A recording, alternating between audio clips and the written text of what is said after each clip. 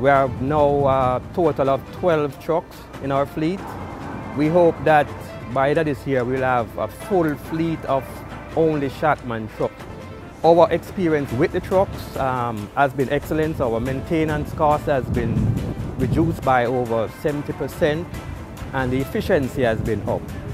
So we are confident that we will be growing with the Tankweld team. The partnership will be growing. We have been excellent and we think that the Shacman um, group and the Tankweld group will be great for our business going forward.